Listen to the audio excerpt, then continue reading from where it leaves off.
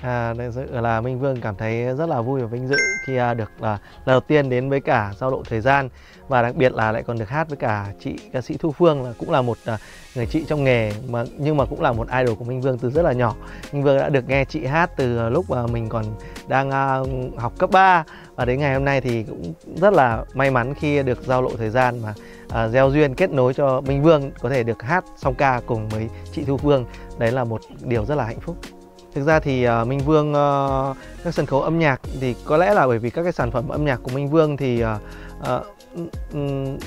các sân khấu âm nhạc lớn như uh, giao lộ thời gian như này này thì uh, Minh Vương cũng ít uh, có cơ hội bởi vì là Minh Vương đã dành thời gian nhiều để uh, hát những cái ca khúc mà gọi là quần chúng hơn cho nên là có lẽ là trên truyền thông thì mọi người cũng không không uh, nắm rõ là Minh Vương uh, có xuất hiện không. Nhưng mà thực ra thì hàng tháng thì Minh Vương vẫn đi diễn đều và phục vụ cho tất cả các uh, uh, sân khấu lớn nhỏ riêng. Uh,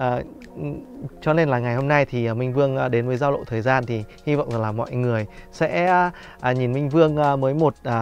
uh, cái uh, ánh mắt uh, mới hơn. Và hy vọng rằng mọi người sẽ yêu thích uh, giao lộ thời gian cũng như là những ca khúc của Minh Vương hát với cả chị Thu Phương trong chương trình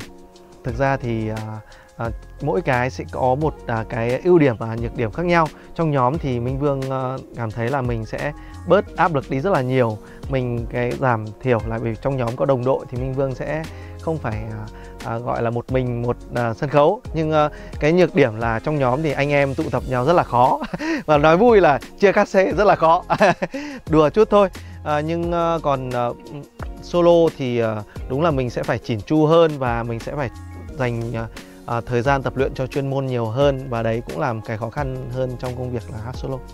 À, trong tương lai gần thì Minh Vương cũng rất là hy vọng là Em For You sẽ tái hợp và cũng có thể là được uh, hát trong giao lộ thời gian.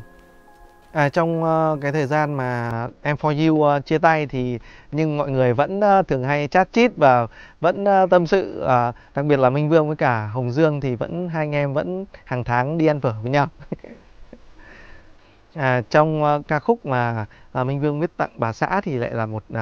ca khúc uh, um, không thuộc thế hệ Em For You mà ca khúc uh, gửi ngàn lời yêu mà anh uh, Tuấn Hưng đã hát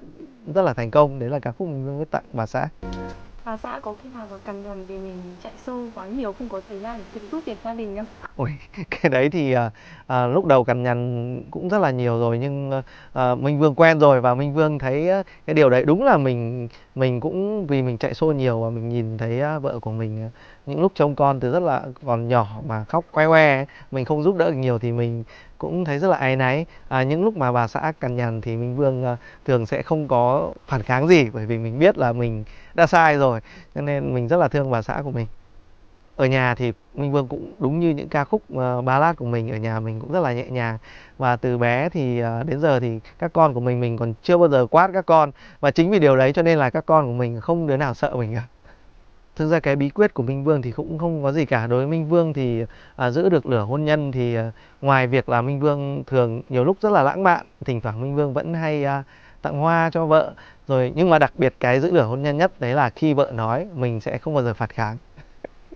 À, nếu như mình không theo đổi con đường nghệ thuật thì chắc có lẽ mình sẽ mở một xưởng à, độ xe ô tô. Về mình cũng rất là đam mê về à, công việc à, đam mê những chiếc xe ô tô và những à, chiếc xe mà mình độ lên. Ừ, lần đầu thì uh, có lẽ là một uh, bản mashup của uh, Minh Vương và chị Thu Phương. Đấy là bài uh, chưa bao giờ vào bài mưa. Đấy là một cái rất là mới và cũng rất là khó khăn nhưng Minh Vương cảm thấy như vậy thì mình mới vượt qua được chính mình. Em dự đoán là trong các uh, ca khúc đó thì ca khúc nào thì sẽ trở thành hit trong oh, chắc là Minh Vương nghĩ là sẽ có ca khúc xe đạp. Đấy, bởi vì là trước kia thì mọi người nghe với giọng ca trong veo của ca sĩ Thủy Chi nhưng nay thì mọi người sẽ được nghe một phiên bản rất là mới rất là đầm thắm của chị Thu Phương. Mà cái thời xe đạp của thời những năm 86 chứ không phải là thời của năm 2000 à, dự định âm nhạc sắp tới của Minh Vương thì có lẽ là Minh Vương sẽ quay trở lại với những ca khúc uh, lãng mạn. Đúng như là cái thời của à, năm à, những năm của Em For You và Minh Vương sẽ có những cái bản phối mới hơn. Và ngoài ra thì Minh Vương cũng có thể sẽ kết hợp lại với cả nữ ca sĩ Thùy Chi và một số các ca sĩ trẻ bây giờ nữa. Mọi người ơi, mọi người hãy cùng đón xem số giao lộ thời gian ngày 24 tháng 8 được phát sóng trên FPT Play của Minh Vương và chị Thu Phương nhé. Xin cảm ơn mọi người rất nhiều.